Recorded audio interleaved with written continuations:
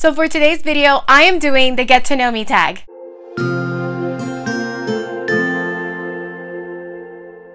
Hello and welcome back to my channel. So for today's video, I am doing the get to know me tag. And I am doing this tag after a suggestion from one of my subscribers and also because we just recently hit 600 subscribers and I am so thankful. Thank you so much for being here and subscribing and showing your support.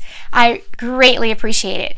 So because we have had so many people subscribe to my channel, I wanted to go ahead and do, I thought it was a good idea for me to do the get to know me tag and answer some questions that will let you know a little bit more about me. Now, the get to know me tag has been around for a long time. You can look for videos on YouTube and find people doing get to know me tags and even websites that give you suggestions for questions to use. So what I did is I looked at the questions from a couple of different sites and I chose 30 questions to answer that I think will give you some pretty good information about who I am.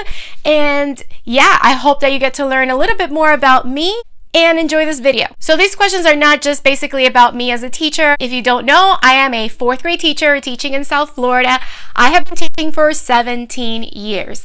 I am a graduate of Florida International University. That is where I got my bachelor's degree from in elementary education. And I am a graduate from Barry University. That's where I got my master's in educational technology applications. And I am currently enrolled in Barry again doing my PhD, which is my doctorate in curriculum and instruction. I have already finished my coursework. I have passed my comprehensive exam. I'm in what we call dissertation mode. So I basically just have to sit down, complete the dissertation, defend it, and then I'll graduate with my doctorate in curriculum and instruction, specializing in reading, literacy, and cognition. But enough about that. That is my professional life. Here is me as a person, as who am I. So I'm going to be looking in my iPad in order to look at the questions that I picked. And yeah, hopefully you'll get to learn a little bit more about me. All right, so here we go. So question number one, are you named after anyone? So my name is Mariely, and I have to say a little bit about my name before I tell you more about if I'm named after anyone. But basically, when I came here to Florida, a lot of people had a hard time pronouncing my name because it is a Spanish name and they didn't do it correctly and they butchered it all the time.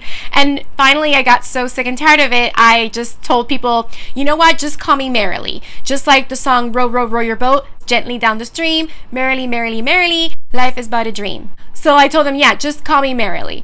And I went like that for years. And people would just call me Merrily, and I would have people call me Merrily, but that never truly sounded like my name.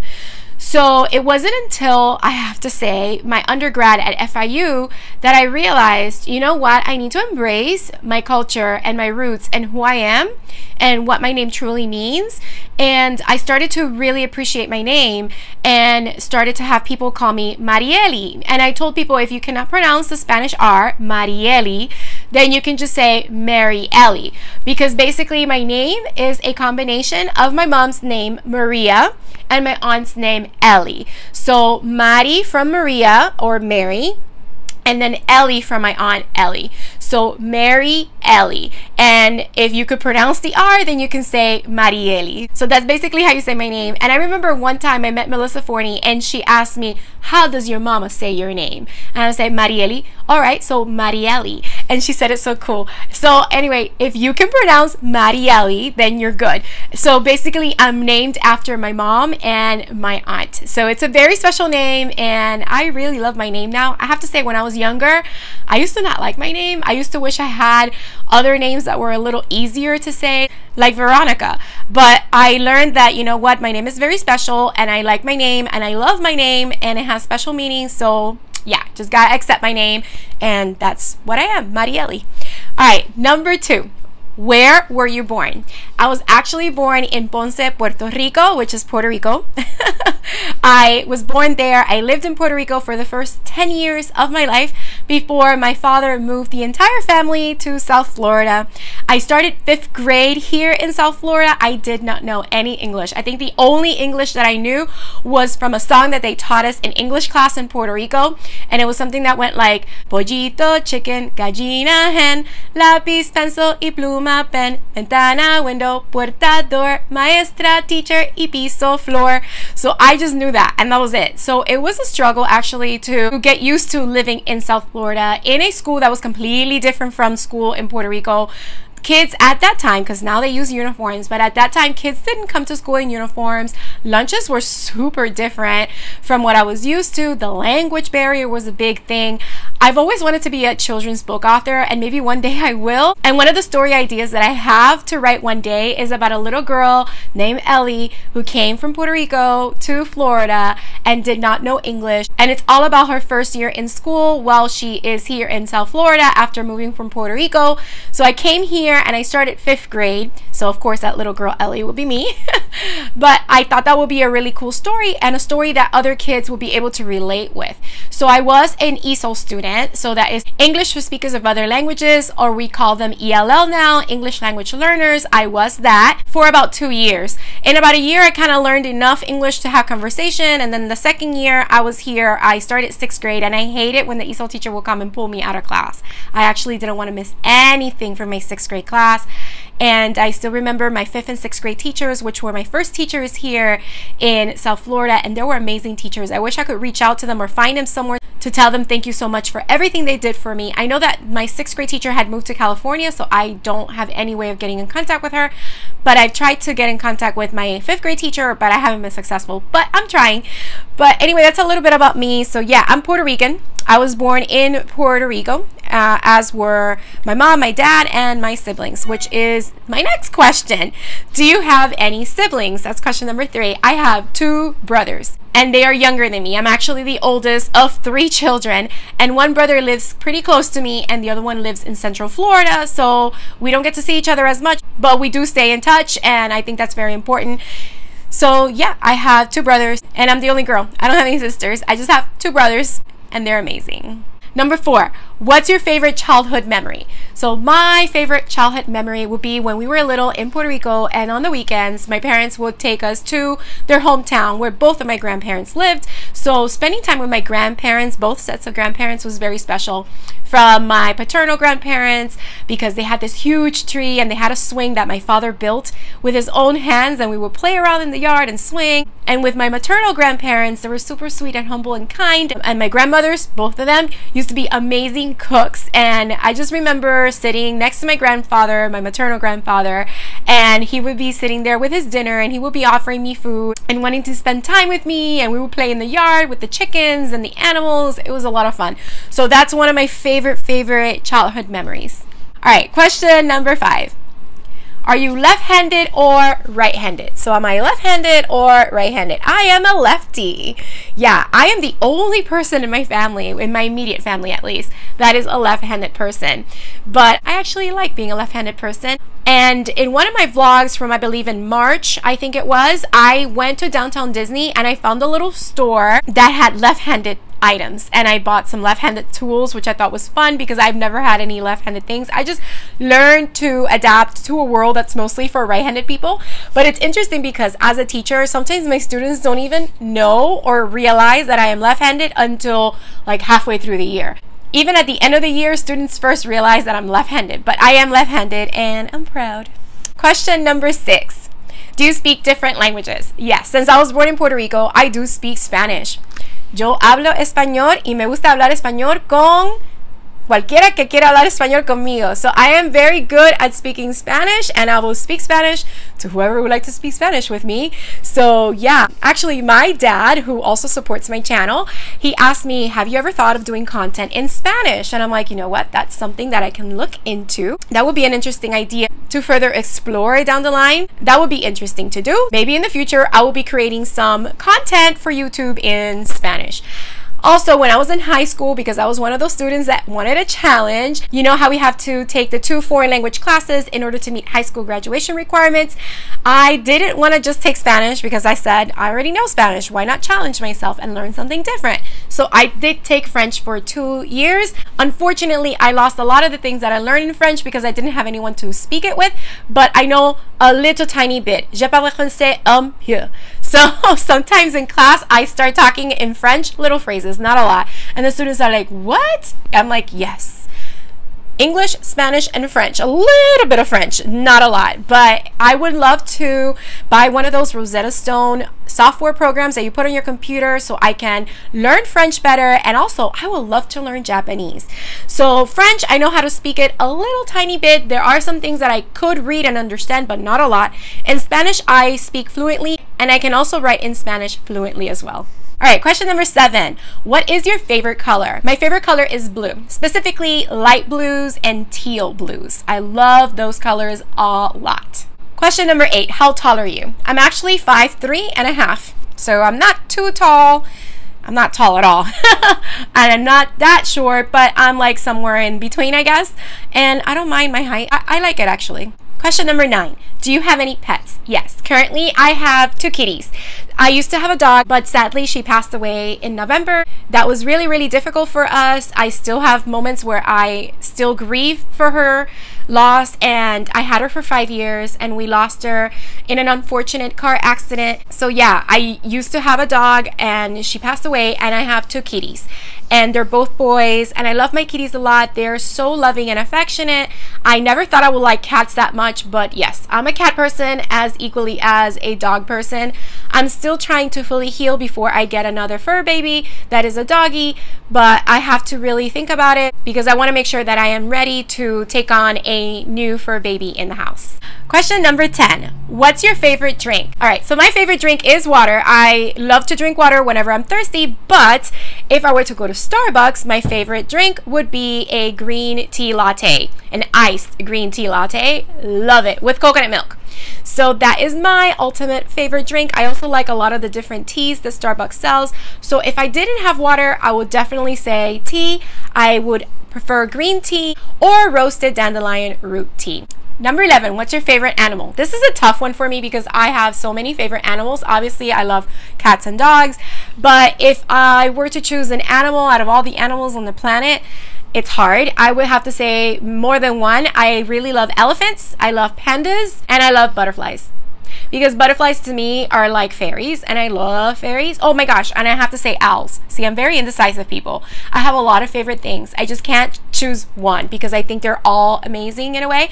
So yeah, and throughout my house, you will see different owl statues and elephant statues. You will see butterflies because I do have portraits of butterflies. You will see fairies. You will see pandas. I did my owl crate unboxing for June and I showed you a little pen that I have that has a little panda bear on the top. So yeah, I really like those animals a lot. All right, number 12. What's your favorite perfume? So my favorite perfume of all time is Pleasures by Estee Lauder. That has been my favorite for many, many years, and that's the one that I use sparingly. I don't use it all the time, and when I use it, I just spritz a little bit because a little bit, in my opinion, goes a long way. Plus, I'm usually allergic to a lot of different scents, but I'm not that allergic to Pleasures as long as I don't use too much of it. And I do have other favorite scents that I like to wear when I'm not wearing Pleasures that are from Bath & Body Works. My favorite favorite one is Beautiful Day. Question number 13 tea or coffee? Ah, that's hard, but even though I like coffee, I used to not like coffee for a large part of my life. I recently started enjoying coffee maybe over a year ago, but my go to drink would be tea. If I had to choose between tea or coffee, it would be tea. I love tea. Question number 14. Do you have any children? Yes, I have one son. His name is Jonathan and he is 16 years old. He just turned 16 a few weeks ago. I love him very, very much and he's very special and I'm very blessed to be his mama. All right, number 15. What sports have you played? All right, so I don't know if I can consider running a sport, but I love running. It's not, I don't think it's a sport because you don't do it with teams. but hey, I kind of consider it a sport. So I love running. I've participated in a variety of 5K races, 10K races, and I even completed a half marathon. I did the Miami Half Marathon back in 2015. I have to get back into running shape, but I'm not in a hurry because priorities, right? As long as I can go out and have a nice little run, walk, I'm good. But any other sports that I played, my favorite all time sport that I played when I was in school was volleyball. Love, love playing volleyball. And when I was a little girl, I used to play baseball with my dad, who was a baseball player for the company that he worked with when we were living in Puerto Rico. Do, do, do, do, do, do. Okay, 16. What was your favorite slash worst subject in high school? Okay, so my favorite favorite subject in high school was English. My English teacher in 11th and 12th grade was amazing. Miss Humphrey was the bomb. So I still remember the awesome English lessons that she did with us, and I will forever treasure them for all my life. My worst subject in high school was physics. I dreaded AP physics. I just, you know what it is? I think the the subjects that I think I did not like or I consider my worst are subjects where I didn't feel like the teacher was meeting my particular learning style or learning needs my physics teacher was very hands off. Like he ran his classes where he would tell us, okay, read these pages and complete these problems. And that was it. I don't think he did any real, real teaching or showing us exactly how to do the formulas in physics. But I do remember that. And my other worst subject in high school was pre-calculus, honors pre-calculus, also my senior year, because the teacher that was in that class was a teacher that I had in 11th grade. And I don't think she liked me very much because when I walked into my pre-calculus class, she was like, you're in here? Teachers, don't do that. the first time you have a student enter your class, never greet them like that because that will set the tone in a negative way for the rest of their school year.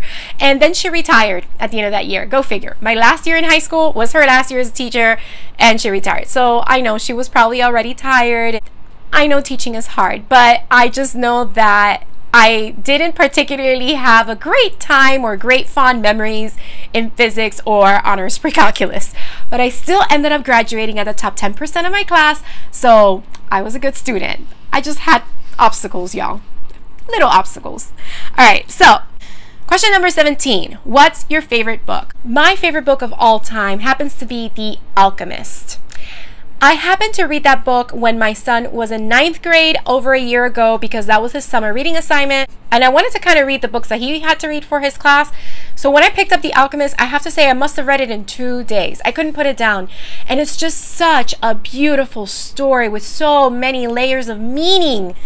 If you have not read The Alchemist, do yourself a favor. Go check it out. Go to your local library, check it out, read it, and let me know what you think. That is my ultimate favorite book of all time, The Alchemist. I have a lot of other favorite books, but The Alchemist tops it.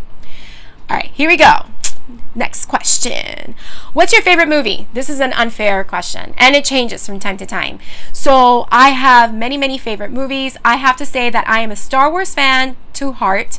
I love Star Wars movies. I also love the Lord of the Rings franchise and I love the Hobbit franchise. I love all those epic adventure movies that have action and yeah, I like those kind of movies. And I also have some family favorites too that are kid friendly movies as well. The last one that I saw that was really, really good, that really touched my heart was Coco. So if you have not seen Disney Pixar's Coco, do yourself a favor also and check it out. Right now it's on Netflix. So if you have Netflix, go to your Netflix after this video and do yourself a favor and watch Coco. What are your favorite TV shows? I'm so glad this question is a multiple question, favorite shows, not just one. So I have many favorite shows. As a matter of fact, before I sat down to film this video, I was catching up on the last season of The Flash. So I love The Flash. That is one of my favorite TV shows. So of course, along with The Flash, I have Supergirl. I also love Grey's Anatomy. I love, oh my God, there's so many Friends. I love Friends. I love Lost. Oh my God, that's one of my favorite series ever. And I recently started rewatching them as well. I love The Office.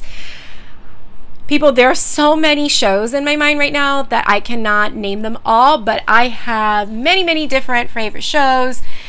Probably if you ask me, do you like the show? I'll probably say yes. And also Jane the Virgin because Gina Rodriguez, I love her. She is hilarious and I just love to see her act. And that show is really great. All right, next question. What's your favorite restaurant? This is another unfair question because sometimes I feel like eating Mexican and sometimes I feel like eating Italian and sometimes I feel like eating Latin food. It's so hard to choose. But if you were to ask me right now where I want to go for dinner tonight, I would have to say the Cheesecake Factory. It has a little bit of everything and yeah, I love it. I can't eat cheesecake anymore because I have allergies to dairy and eggs, but I can still enjoy some of those dishes that they have there that are amazing. And yes, I also have other favorite restaurants, but for the sake of not naming them in a lengthy list, we're going to continue to the next question. All right, question number 21 What's your favorite smell? I love the ocean smell. I also love the clean linen scent and I buy the clean linen candles that I light around my house. And in my classroom, I like the Glade Hawaiian Breeze scent, and that's the one that I use in my classroom to give it a nice soft smell. And yeah, those are some of my favorite smells. So very clean and very tropical-ish kind of scents. So yeah, those are my favorite scents. All right, next question. Tell us one of your bad habits. One of my very bad habits that I am trying to kick again, I was able to kick it before, but now I'm back to it again for the past year or so, is biting my nails. And it used to be a lot worse than it is right now. But yeah, I went back to biting my nails. And it's funny because I've started biting them from the outside in. So in this hand, I have these two fingers that I kind of bitten. And in this hand, I have these three fingers that I kind of bitten. And it's just part of my anxiety because I do have anxiety and I end up biting my nails. But one thing that helps me to stop biting my nails and to just let them be and let them grow is to just paint them. Even if it's clear nail polish, it actually works for me. I know it doesn't work for everyone, but if I just paint my nails, which I should do this summer so they can grow and be ready for the fall, right? I don't bite them. I don't bother them at all. And I'm the type of person that if my nail polish chips, I start taking all of them out because I can't have a chipped nail polish. I start removing all of them and I know it's not good when you start like going like this and removing it but I remove it and then I do a fresh coat of nail polish. So yeah, that's one of my bad habits, people. I gotta break it again. Did it before, I can do it again. Question number 23, PC or Mac? PC. If I had the money, it would probably be Mac, but I have been using PC almost all my life. Since my dad first introduced my brothers and I to computers back in, I don't know, in the 80s, we had our first Amiga computer and that was a PC and we learned to work it with the DOS program and everything. So yeah, PCs have been in my life. My dad did buy a Mac one time, but he actually split the hard drive so that he could use it as a PC or a Mac. So PC people, even though my phones are not PC, you'll see in a moment because the next question, question number 24, what phone do you have? I have the iPhone 8 Plus right now with uh, 256 gigabytes. So it can have all that memory. And I do use my phone to film my videos and edit my videos. So yes, I need to have a phone that can be able to do all that and have really good storage. So I love my iPhone. I did have an Android the first time I ever had a smartphone, but that didn't last a long time. I didn't like the fact that the battery kept giving me issues. So I switched over to my Apple phone and I love it. Question number 25 Scary movies or happy endings? Happy endings, people. I do not like scary movies. No, I sometimes can tolerate thrillers. Like, I really want to see a quiet place, but scary movies, uh uh Give me happy ending movies all the time. And because I'm such a strong emotional person, movies that impact you in a strong and emotional way, like they leave me like, oh my God, what did I just see? So I'd rather have a movie with a happy ending. Question number 26. How do you like to have fun on the weekends? All right, so usually on the weekends, if I were working, I would be at home watching Netflix in my pajamas almost the entire day. But to truly, truly have fun outside of the house, I don't mind walking down the beach or going kayaking. I love kayaking. I also love to go bowling and to watch movies and go out to eat. So that is really how I like to have fun on the weekends and yeah. And then of course from time to time stay home, watch Netflix, binge on some shows or YouTube. That's always good too. Question number 27. What's the first thing you notice about people? So the first thing I notice about people is their energy. And by that, I mean, are they someone who is a positive person? Are they friendly? Are they kind? And I also notice their eyes. I'm very drawn by a person's eyes the first time that I notice someone. I just love to look at people's eyes. There's so many beautiful eyes out there in the world.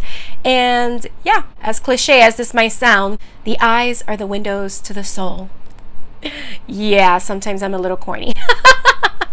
Question number 28. What are your hobbies? So my hobbies include reading, writing, drawing or creating art, being crafty, and listening to music. I love that a lot. Music is part of my life, so is art. And as you're going to see in the next question, which asks, question 29, do you have any special talents? I actually have played the clarinet when I was in middle school and high school, and I learned to play the drums on my own. I was a drum player for over seven years. So I played and sang with a head mic at the same time, and that was a lot of fun. And talent, I guess I will also include singing because I was part of the chorus. When I was a freshman at the University of Miami, I was in the women's choir for one semester, and that was a lot of fun. I was also in the choir at my church and also in the music group as well. So, yeah, those are some of my talents, and of course, my art because I love creating art. I have been drawing since my mom was able to put a pencil or a pen in my hand. So, yeah, I'm very, very artistic in that way with music and art, and I love it. And the last question, question number 30. If you were another person, would you be a friend of yourself? Yes. I think I'm a pretty neat person. I'm kind of quirky and funny and easygoing, and I like to be positive and look on the bright side. So, yeah, I think I'll be my own best friend in a way. And I kind of have learned to be that in a way for me, especially when it comes to learning about self care and doing what's best for you in order so that you can be your best self for others. So, yeah, I have really grown in that journey of my life. So, yeah, I'll definitely be my own best friend for sure.